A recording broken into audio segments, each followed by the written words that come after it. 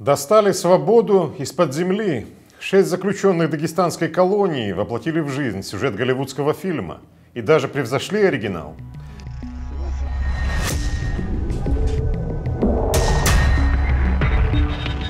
Шествие коронавируса продолжается. Будет ли вторая разрушительная волна? Насколько хорошо усвоили уроки первых тяжелых месяцев пандемии? На эти и другие вопросы отвечал глава Минздрава Дагестана.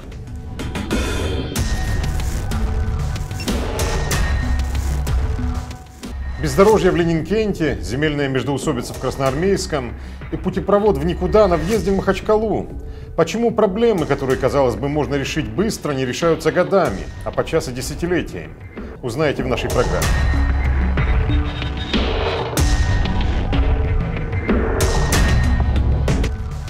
Здравствуйте! Это итоги недели на канале ННТ и я, Мурад Ахмедов.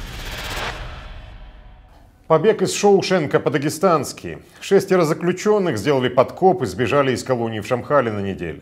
Инцидент произошел в исправительном учреждении номер два, расположенном в этом поселке городского типа.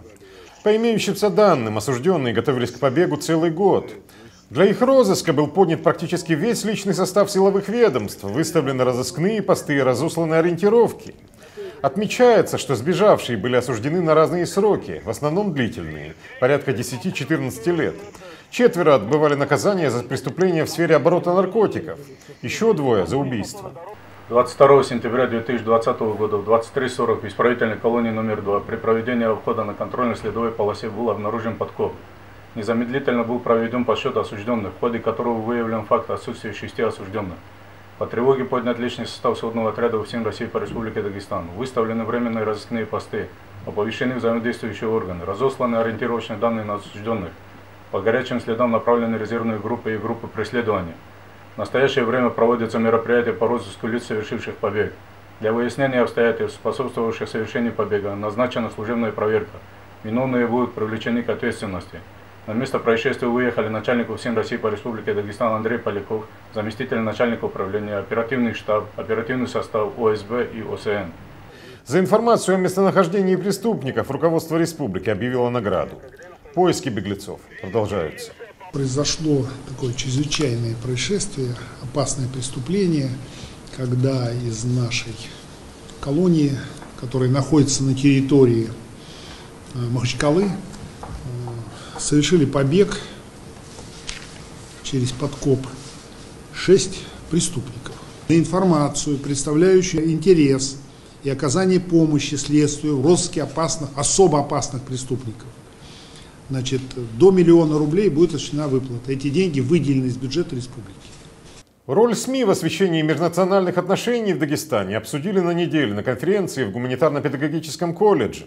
К участию в ней были приглашены сотрудники Миннаца Республики, общественники, представители духовенства и журналисты. Участники отмечали особую роль и вклад средств массовой информации в решении задач в сфере нацполитики. В частности, Министерство по национальной политике и делам религии всегда уделяло внимание национальным проблемам. Наша сложная социальная структура нашего дагестанского общества, много, многообразие, этническое, многонациональное многообразие, многие видели в этом залог в реализации своих собственных планов. Но я еще раз сегодня хочу сказать, я рад за своих земляков, за своих э, э, дагестанцев, что они не подались. В целом Дагестан остался верен э, всем своим традициям, э, всем заветам наших предков. Говоря о новых вызовах информационной среды, участники семинара выразили серьезные опасения в связи с включением в общий информационный поток социальных сетей. Социальные сети, по мнению участников, имеют большое влияние на сознание подрастающего поколения. И в этой связи семья, школы и общественные институты должны объединиться для того, чтобы воспитывать молодежь в межнациональной и межконфессиональной гармонии. Сегодня молодой человек участвует в каких-то дискуссиях или же сам выдвигает свои какие-то мысли, пишет их. Он должен всегда учитывать, что интернет – это глобальная сеть и ее может прочитать любой человек на этом свете. Мы должны эту вещь понимать. Так как верующие люди, независимо от их принадлежности к той или иной конфессии, знают, что они предстанут перед Господом и будут отвечать за свои поступки и деяния. В Дагестане стартовали масштабные стратегические командно-штабные учения «Кавказ-2020». На неделе по программе учений подразделения морской пехоты отрабатывали задачи по обороне побережья, высадке морского десанта и нанесению огневого поражения позициям условного противника. Основные маневры проходили на полигонах Турали, Аданак и Зеленоморск. Подробнее в материале моих коллег.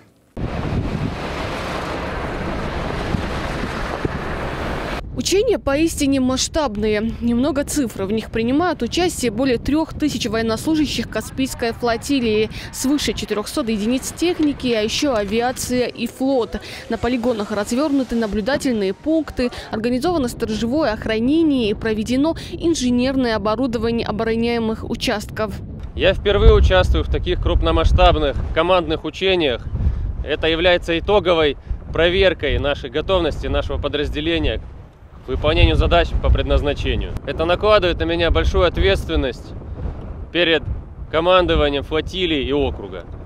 Кроме того, более 30 кораблей флотилии проведут стрельбы на Каспии по надводным и воздушным целям. В их составе находятся ракетные морские судна «Дагестан», «Калибр» и «Град Свияжск».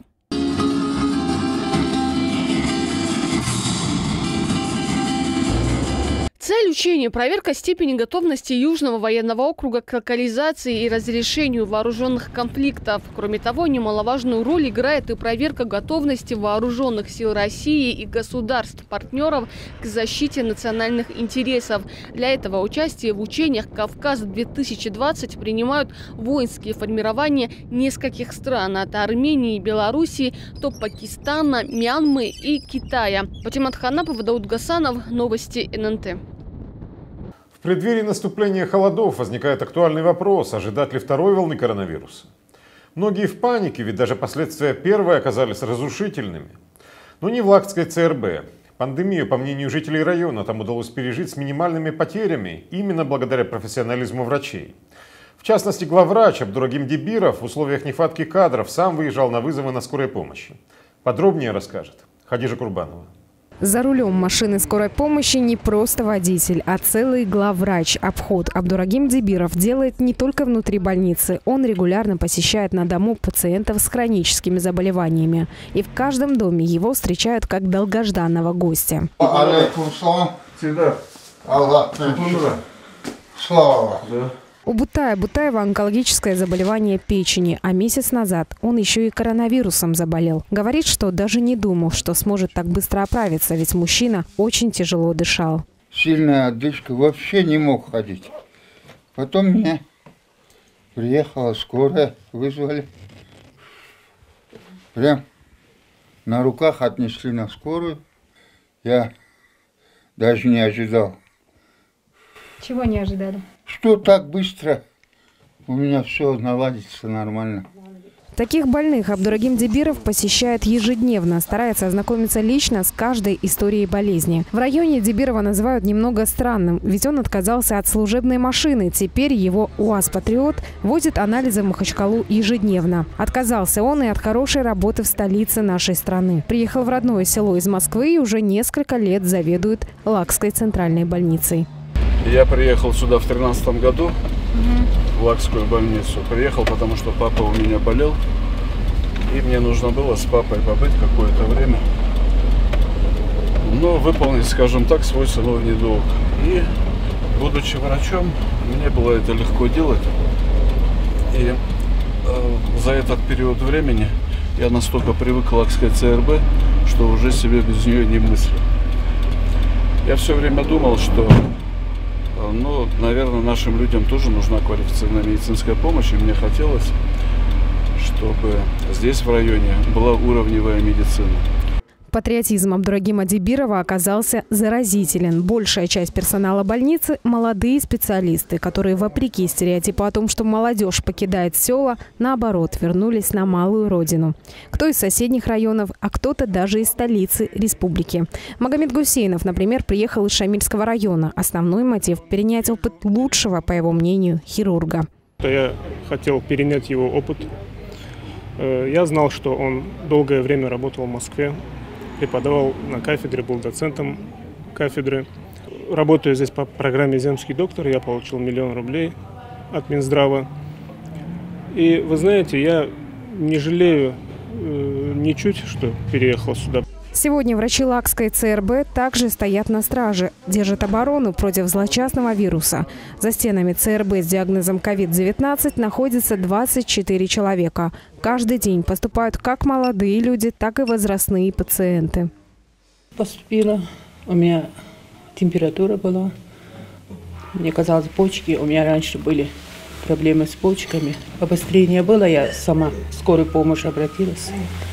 Уложили, ну, два-три дня плохо было.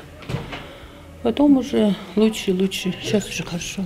Чувствую себя нормально. Э, уже 6 дней прошло. Лечение тоже здесь нормальные врачи.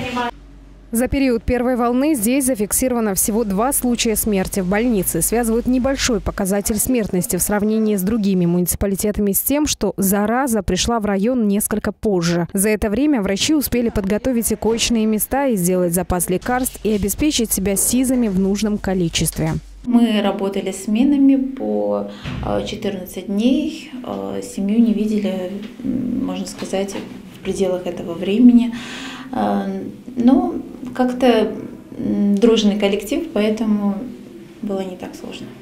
Пока коллектив относится к работе с интересом и осознанием долга, другого результата и быть не может, считает главврач. Он уверен, храбрости и профессионализма медиков хватит и на вторую волну, которую бы так не хотелось вновь пережить. Но, тем не менее, резерв для этого подготовлен. В запасе и коечный фонд, и лекарственные препараты. Но самое главное – оружие медиков. Искренняя готовность всегда прийти на помощь. Хадижа Курбанова, Магомед Магомедов, телеканал ННТ. Лакский район. Кто в числе первых пройдет вакцинацию от коронавируса и будут ли доступны лекарства от COVID-19 всем дагестанцам? На эти и другие вопросы постарался ответить министр здравоохранения региона Джамалудин Гаджи Ибрагимов в ходе пресс-конференции.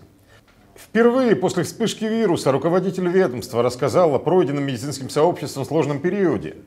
Министр признал, что был целый ряд проблем, и несмотря на храбрость и профессионализм врачей, многого не хватало – Запасы лекарственных средств практически сразу в начале эпидемии были исчерпаны, а некоторых больных приходилось лечить буквально в коридоре. Министерство располагало средствами, в том числе для приобретения лекарств, но ввиду дефицита невозможно было их вовремя закупить. Сейчас же по итогам сделаны соответствующие выводы. Каждого нас коснулась, наверное, вся эта вот ситуация. И знаете о том, что нам приходилось действительно пациентов и в коридорах укладывать. Многие пациенты оставались и на амбулаторном лечении. На сегодняшний день, имея вот этот вот опыт, мы смогли создать запас лекарственных препаратов э, по 56 наименованиям, и в том числе вот э, часто, э, даже не зная о том, что назначено ли пациенту, есть ли показания к назначению, очень часто любят там, говорить, вот вы знаете, вот у нас там родственник лежит, там ему актембра нужна. И по данному препарату у нас созданы резервы на 71,7 э, миллионов рублей. Говорить о коллективном иммунитете в Дагестане пока рано, считает Джамалдин Гаджи Ибрагимов. Впрочем, если он и сформируется, то едва ли на продолжительный срок.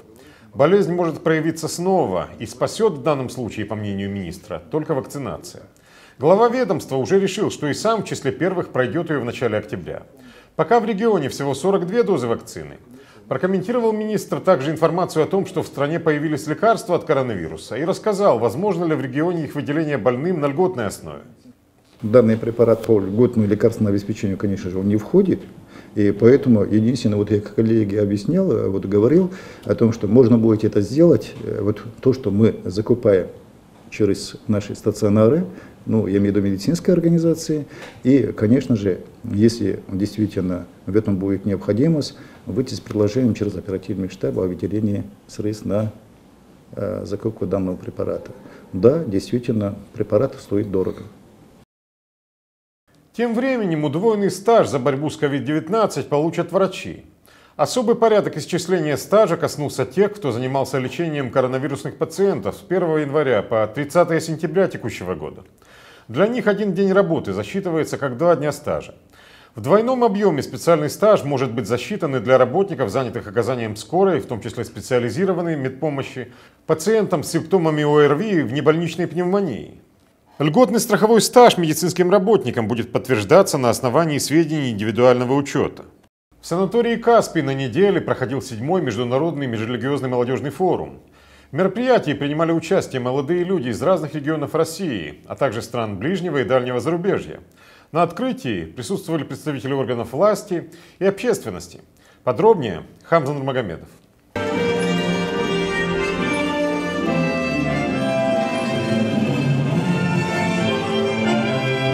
Ежегодно уже ставший традиционным в нашей республике межрелигиозный форум объявлен открытым.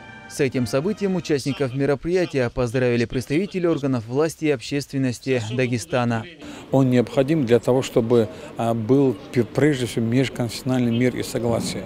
У нас здесь представлены три основные конфессии, и всегда выступают а, религиозные лидеры этих конфессий а, э, с одним призывом, что Бог един, нам надо взаимодействовать, нам надо дружить, нам надо знакомиться с культурой друг друга, и чем мы больше будем знать, э, тем мы больше будем развивать нашу э, экономику, наше государство вперед. Международный форум объединил представителей трех мировых религий – мусульманства, православия, иудаизма. Мероприятие призвано послужить укреплению межконфессионального согласия в Дагестане и в стране в целом. Это то, что нам завещал пророк Мухаммад, саллиллаху чтобы мы переживали, чтобы мы э, относились с добрым уважением, хорошим отношением ко всем людям без исключения, чтобы проявляли свое доброе соседство. И нам сегодня это необходимо. Э, определенные деструктивные силы пытаются нам навязать свою идеологию, но э, взамен этого мы должны прививать нашей молодежи, что такое истинная вера, истинная религия и к чему она призывает. Что никогда ни одна из религий не призывала к э, вражде друг другу, к ненависти друг другу.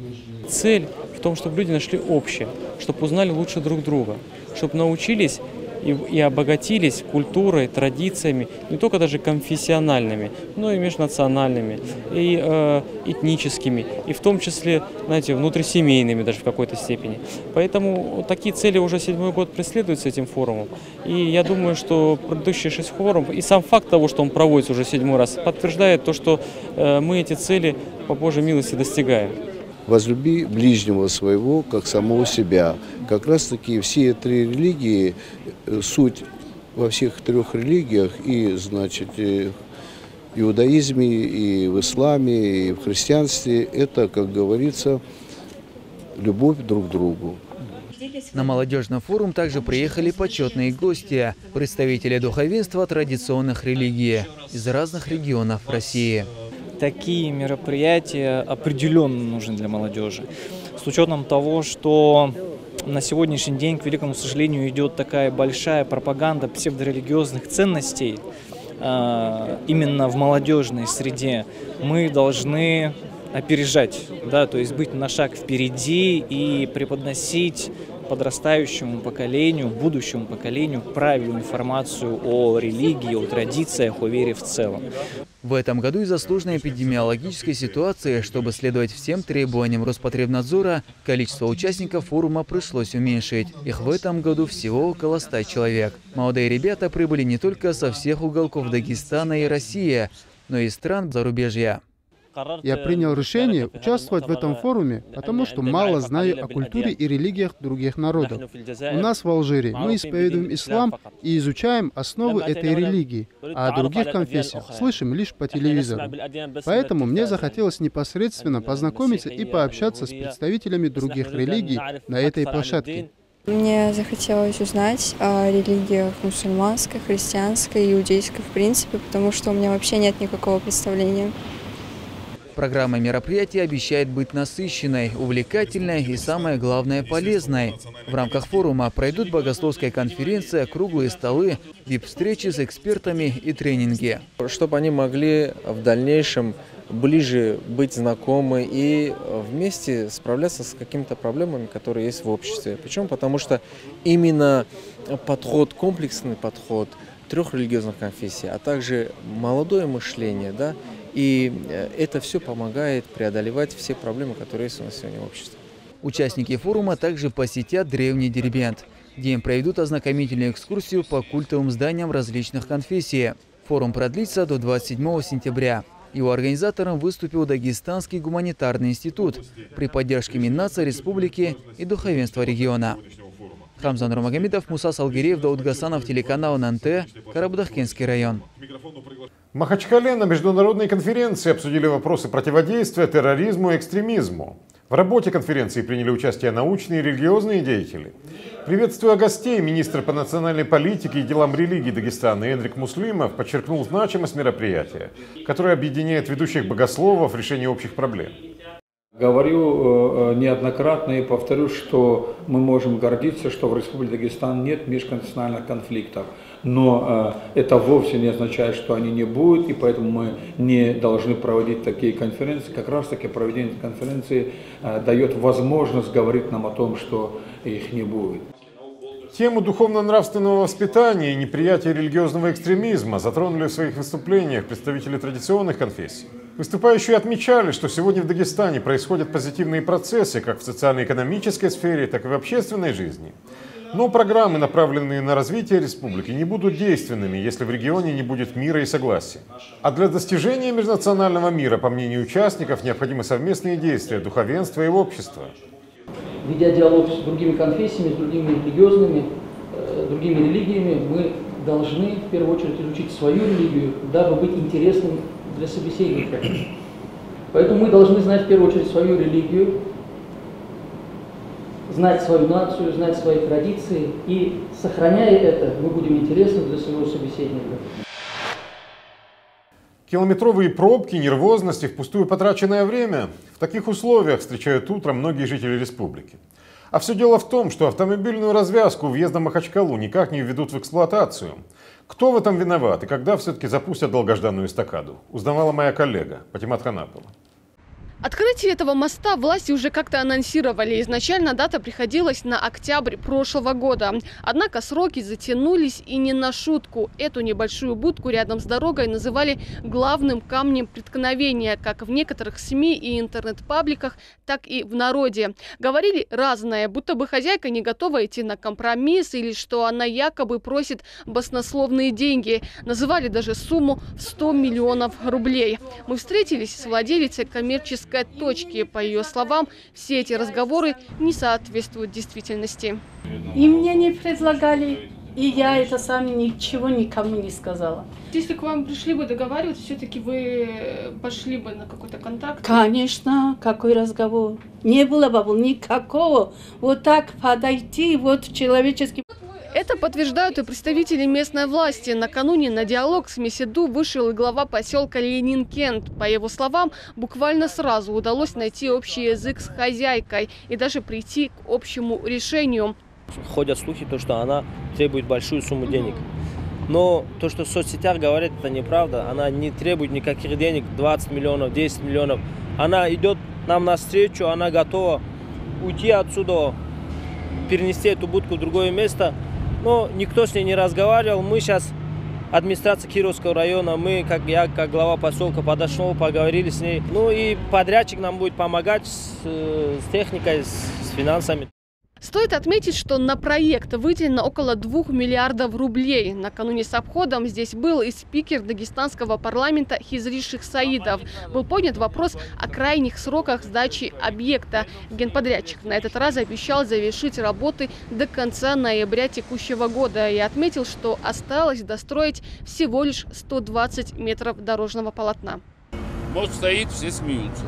Над властью, над республикой, над они же не говорят их, они не знают, знать не знают. Они говорят те, кто на площади сидит. В конце ноября я сказал, остальное мы решим. Не, успокойте, успокойтесь. Я знаю, что... В конце ноября да. приходи в костюме. Костюм нету пока. Купишь, купишь. Вот. Там мы сделаем дырку и оденем на форме. Все, Все слушали? Вот, это, вот таким мужчинам приятно разговаривать. Здесь очевидно, что главные последствия срыва сроков – это дискомфорт для горожан и автомобильные пробки. Нервозный за рулем ни к чему хорошему, как правило, не приводит, а потраченное время никто не вернет. Поэтому скорого ввода эстакады в эксплуатацию ждут многие дагестанцы. Патимат Ханапова, Магомед Магомедов, Новости ННТ, Махачкала. Песчаные карьеры разрушают асфальтовое покрытие на дорогах Дагестана. Речь идет об автодороге Мамедкала-Мичурина, которая была построена совсем недавно, но уже вся износилась. Произошло это из-за регулярных проездов большегрузов, которые возят песок из карьера. Проблемой обеспокоены местные жители. Они обратились в Общероссийский народный фронт. К какому итогу пришли активисты совместно с представителями ответственных структур? Смотрите далее. Песчаный карьер стал разрушительной точкой для прилегающей автодороги. Большие КАМАЗы ежедневно возят отсюда тонны песка. Такую нагрузку дорожное полотно выдержать не в силах. Почти сразу здесь появились выбоины, ямы, трещины. Дорогу построили для развития туристического кластера в 2018 году. Гарантийный срок еще не истек, но она уже требует ремонта.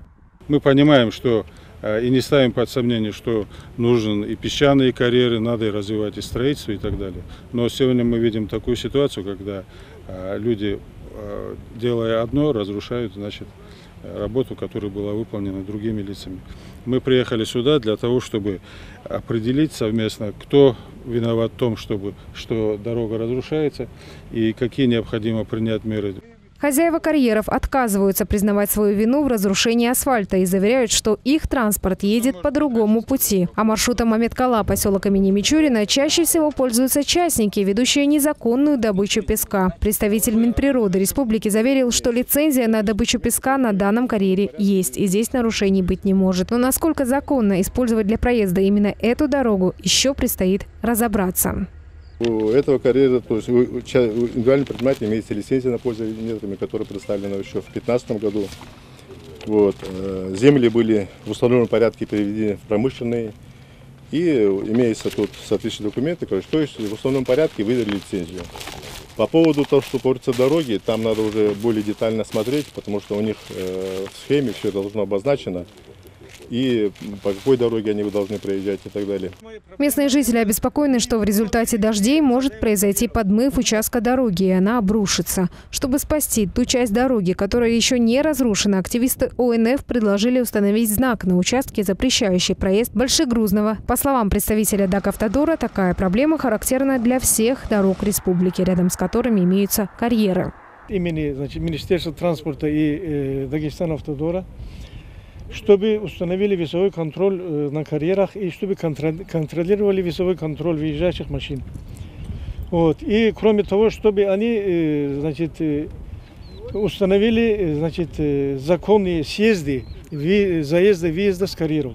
Необходимо установить знаки по ограничению весового контроля по нагрузке на ось и по, общему, по общей массе значит, нагрузки значит, на дорогу. Владельцы карьеров обещали засыпать ямы вдоль дороги, чтобы предотвратить ее обрушение. Но и это не панацея. Вопрос, кто восстановит дорогу полностью, остается открытым. Заказчиком строительства дорожного объекта было Минтуризма Республики, поэтому дальнейшие переговоры по данной проблеме ОНФ Республики Дагестан будет вести с туристическим ведомством. Хадижа Курбанова, Магомед Магомедов, телеканал ННТ. Дербенский район. Задержаны около 30 человек. Более 20 людей получили травмы. Среди пострадавших как представители силовых структур, так и местные жители. Таковы последствия вышедшего за рамки разумного земельного спора в поселке Красноармейском, который накануне вылился в противостояние с печальными последствиями. Мои коллеги выехали на место и узнали причину конфликта, который не могут разрешить уже годами. Людей вот до чего довели! И гематоме по голове, и газовым этим, и электрошоками, что только здесь не было. Дубинки, слезоточивый газ и даже резиновые пули. Все это, по словам местных жителей, применяли силовики.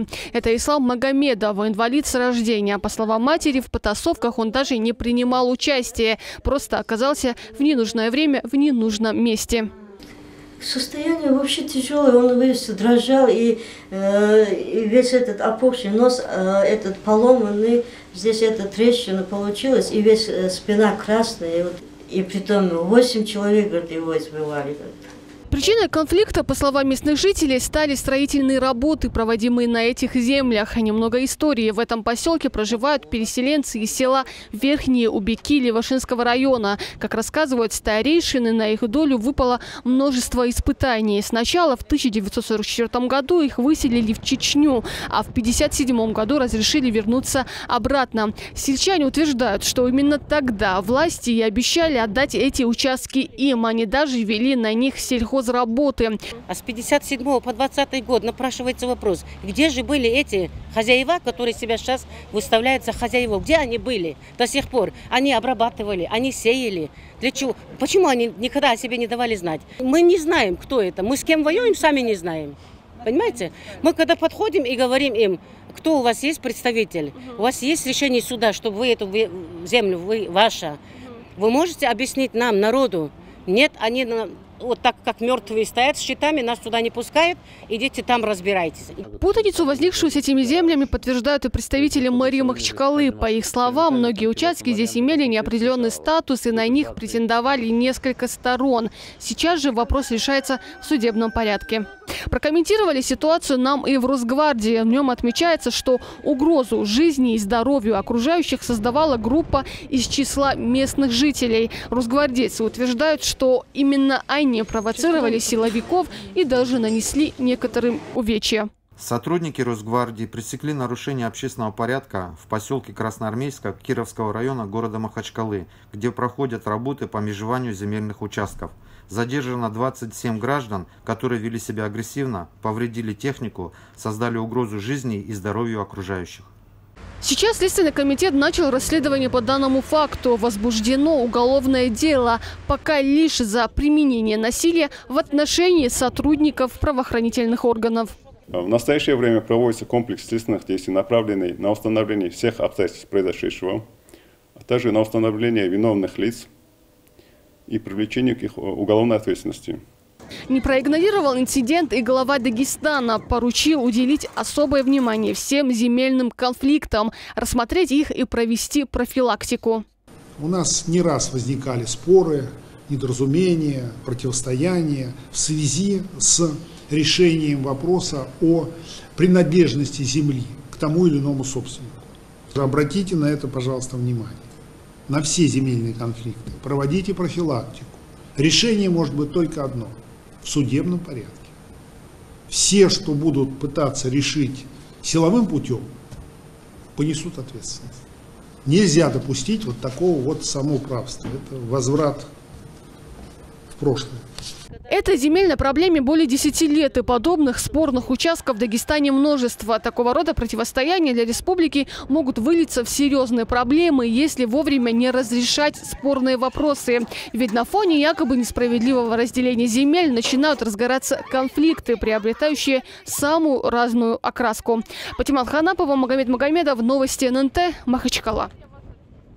Службы занятости в Дагестане трудоустраивают школьников – так, в рамках программы Центр занятости Сулейман-Стальского района привлек к сбору винограда 30 учеников Зизикской средней школы.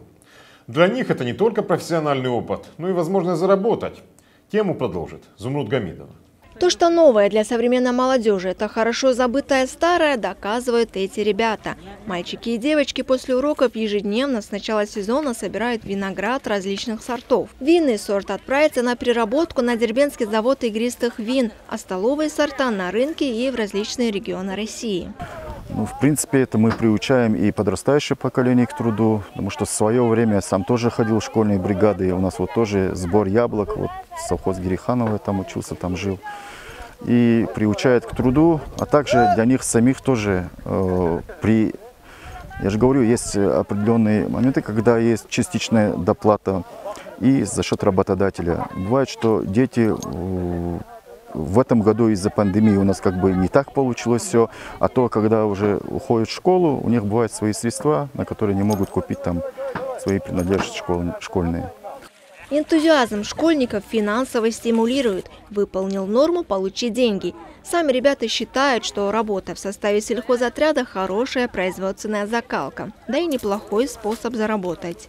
Для меня это как бы привычное дело, но просто в таком большом хозяйстве я первый раз как бы получается. Собираешь. А до Да. этого вы с классом куда-то ездили, в каких-то работах принимали участие? Ну да, разные субботники, например, в селе. Разные там экологические мероприятия у нас были в других селах тоже. А как тебе вот нравится вот эта вообще программа трудоустройства? Ты считаешь, что это правильно? Что Да, правильно, потому что школьники тоже как бы должны вносить свой труд, свой вклад э, в развитие села, такого общества, можно сказать. Службы занятости населения в районах республики ежегодно реализуют госпрограмму по временному трудоустройству учеников старших классов. В этом году к сезонным работам было привлечено около четырех с половиной тысяч человек. В основном дети занимаются ремонтом и благоустройством детских площадок, озеленением пришкольных участков, сбором винограда и других ягод. А в период осенних каникул начнется и сбор шиповника. Ну, мы особо не используем детский труд. Но когда они сами хотят, им же весело. Вот так нормально. Вы в свои годы тоже, наверное, ездили на виноград? Это да, точно. В свои годы на винограднике, когда учились, собрали, когда в школе собрали. В Дагестане программа по трудоустройству учеников старших классов действует уже 7 лет. Для ее реализации в этом году из республиканского бюджета выделено 650 тысяч рублей. Особенно активно молодежь подключилась к проекту на сельской местности. Э, В этом году муниципалитеты, несмотря на э, ограничительные меры, связанные с пандемией, э, достаточно активно занимались трудоустройством старшеклассников. Около 4 тысяч детей были трудоустроены на временные работы. Это, как правило, ремонт детских площадок, сбор винограда, фруктов, абрикосов, персиков. Впереди еще предстоит сбор шиповника, трав. Трудиться дети смогут не только летом. Востребованы юные работники и на осенних или зимних каникулах, а также после уроков. Зумруд Гамидова, Дауд Гасанов, телеканал ННТ, Сулейман Стальский район. Хлеб, от которого в восторге туристы. Герой нашего следующего сюжета Гаджи Магомед из Анцукульского района. Вот уже 25 лет готовит мучные изделия для всей округи. Бизнес решили поддержать и республиканские власти. Министерство экономики Дагестана выделило субсидию предпринимателю для покупки тестомешалки. О спросе на особенный горный хлеб расскажет Алина Багилова. Баловать односельчан хлебом и булками Гаджимагомед начал 25 лет назад. Работая на других, понял, что к своему делу душа лежит больше. Вот и решил рискнуть, да и запустить свою пекарню. Накопил средства, купил первую печь, вернулся в свое родное село, выкупил пустующее здание и начал производство.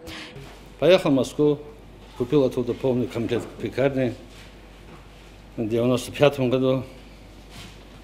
И с того дня свою пекарню. Сперва у меня пекарня была в Муцикуле, я там работал. Потом, там тоже много стало хлеб. Потом приехал сюда, в Шамикалу. Здесь еще не было. Здесь еще не было. Ну, Было здесь, но частное, м, мини вообще, там, ну, мешок, два мешка вот так. Купил четырехкомнатную ком- э, квартиру, там, в первом этаже и нашел там. Небольшая пекарня кормит все село и даже туристов, которых тут с каждым разом все больше и больше. Добротная буханка стоит 18 рублей, самый дорогой хлеб полосатик. Его цена 27 рублей. Сельчане, чтобы не пропустить свежую партию ароматной выпечки, всегда на чеку, знают расписание появления горячего хлеба, приходят забирать его прямо из печи.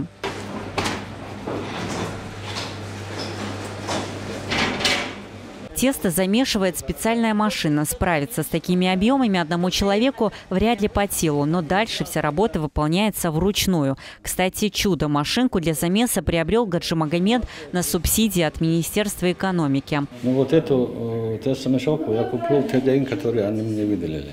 Плюс сам тоже добавил. Ну, ну, друга- работа совсем другая и качество другая. От 300 грамм до э, 35-40 килограмм она э, делает тесто.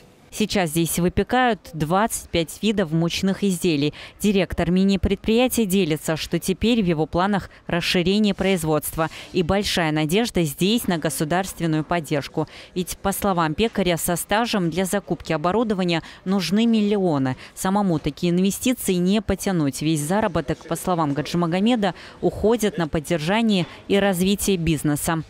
Благодаря прошлому году Минэкономики вот хотя бы немножко поддержку получил, и то спасибо. Но если, э, если бы вот такие же поддержки побольше были бы нам, предпринимателям. Это очень хорошо было бы. Хочется сделать, да, оборудование поставить по-современному, э, как говорится, евро.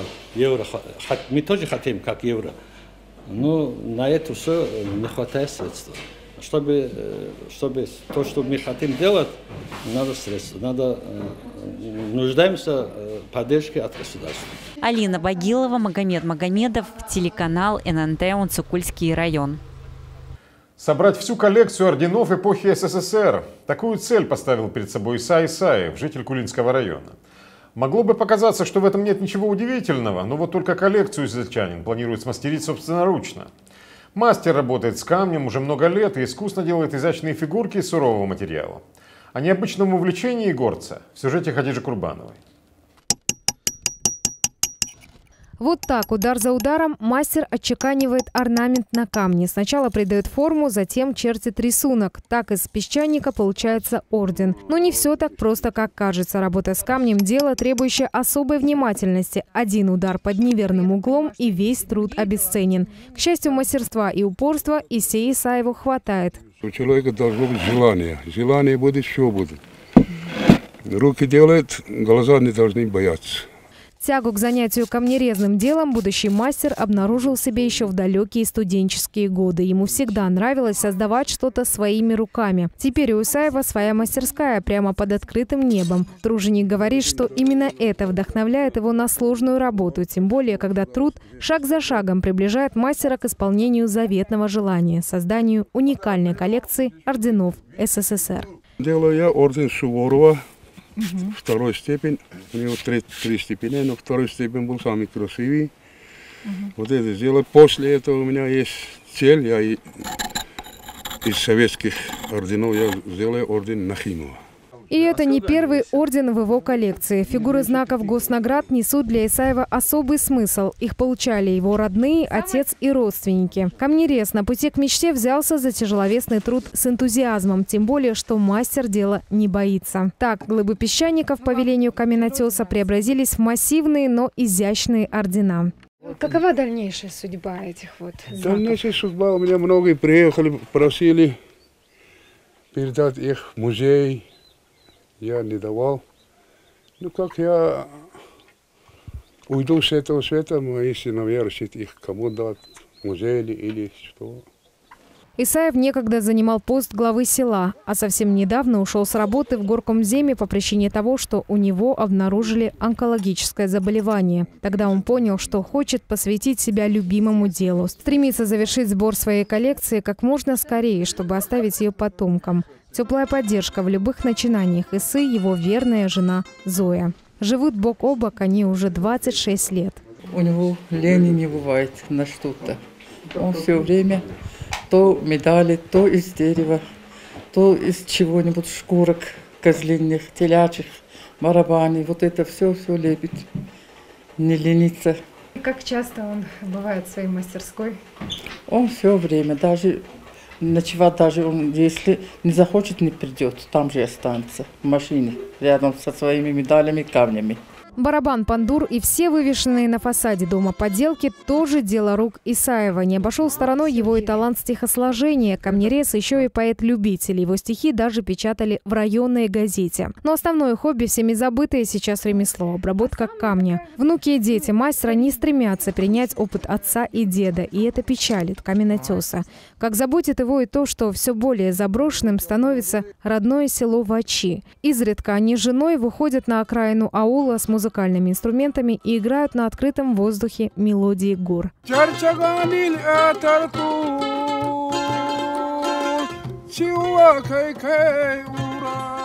Хадижа Курбанова, Магомед Магомедов, телеканал ННТ, Кулинский район. Наглядно, просто и современно. Теперь изучать географию Дагестана школьникам станет проще и занимательнее. Лучший учитель республики 2019 года стал еще и победителем конкурса на международном форуме «Байкал-2020». Ильдар Хусаинов выиграл грант на реализацию обучающего проекта «Видеокурс по географии Дагестана». О том, что из себя будет представлять программа, узнавали мои коллеги. В современном мире путешествия доступны всем, и гораздо интереснее подбирать маршрут не через турфирму, убежден педагог Ильдар Хусеинов, а ориентируясь на собственную географическую картину мира.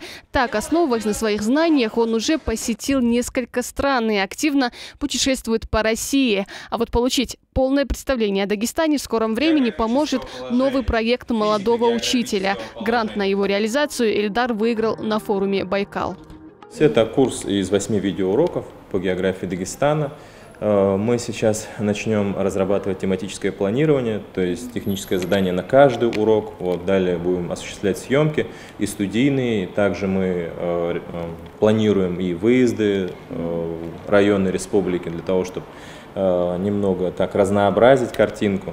Помогать в реализации проекта Ильдару Хусаинову будут ученые из Дагестанского отделения Русского географического общества. Кроме того, свой вклад внесут и коллеги, имеющие опыт преподавания школьного курса географии Дагестана. Ильдар убежден, что видеокурс будет полезен не только школьникам и учителям. И мы с коллегами обсудили одну идею, которую можно немного модернизировать мой проект. То есть для того, чтобы э, эти уроки смотрели не только школьники, да, но и студенты, а также жителей других регионов, возможно, даже из других стран. То есть мы, скорее всего, добавим и субтитры на иностранном языке, чтобы было понятно.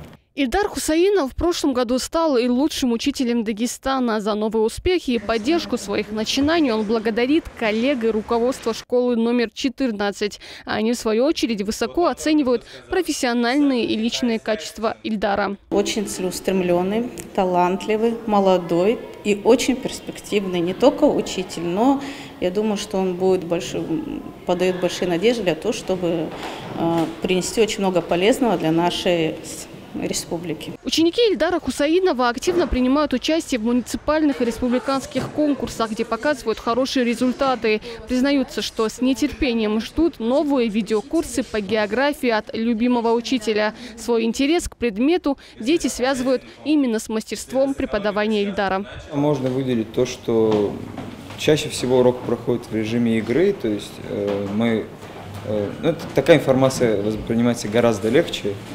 Он много путешествует и рассказывает о разных странах. Если бы не урок географии, я, я бы не узнала о некоторых моряках, о морях разных. Он рассказывает, ну, чтобы все поняли и было интересно всем, чтобы все вникали в, в процесс урока. Дагестан представляет огромный интерес в географическом и культурном плане. Природные и исторические памятники разбросаны по всей республике, но, к сожалению, сами дагестанцы порой о них мало знают, что уже говорить о приезжих. Курс молодого дагестанского учителя призван заново открыть страну гор для школьников, расширить их представление о родном крае. Патимат Ханапова, Муса Салдгиреев, Новости ННТ, Махачкала. Позапрошлым летом вот. И это главное, чем запомнилась нам эта неделя. До встречи в следующее воскресенье. Удачи вам, друзья!